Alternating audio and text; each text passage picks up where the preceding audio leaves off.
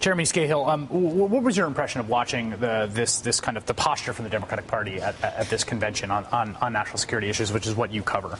Well, I mean, you know, regarding the, the way that uh, you know Osama bin Laden's name was used by the Democrats at the convention, it, it really felt like we were watching a parade of, of jingoism that belonged in a sports bar. And and you know, I, I think that the, the fact is that that there has been no serious analysis of the president's foreign policy in all of the coverage I've seen of the Democratic National Convention including MSNBC, there has been no serious, hard hitting critique of the president's foreign policy from the issues that actually are real or that distinguish him uh, you know, from the Republicans. Because the, the, fact is that the Democratic foreign policy is distinguishable from the Republicans only insofar as the president took some of the worst aspects of the Bush era foreign policy and pushed them forward. Well, don't think that, wait a second. That, that's, not entire, that's not entirely fair. I mean, there's some truth to that, but if you look at what the, what, what's happened on Iran over the past few weeks, I think, where I think the administration has quite skillfully pushed back on pressure that was mounting on them to set a deadline by which they would take military action.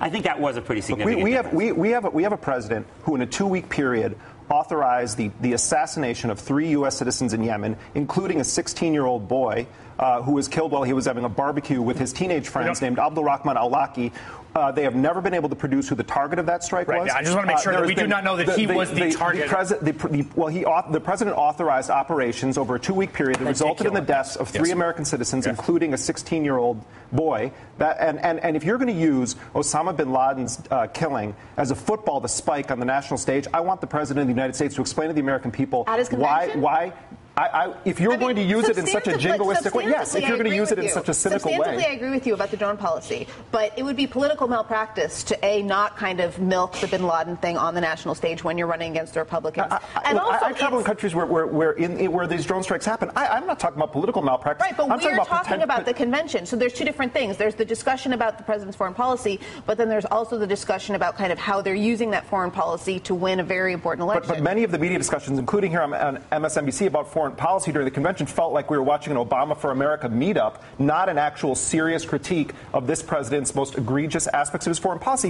where you do see that of the Republicans. There's all of this going after Romney, and I think it's completely legitimate. But some of the core issues of this president's national foreign uh, national security policy are not being debated. And, and I'm sorry, but watching John Kerry and Joseph Biden criticizing uh, the, the war in Iraq. They voted for the war in Iraq. Joe Biden was the chair of the Senate Foreign Relations Committee and shut down debate uh, about Iraq when, when it was being debated in this country. I mean, there's revisionism, there's jingoism.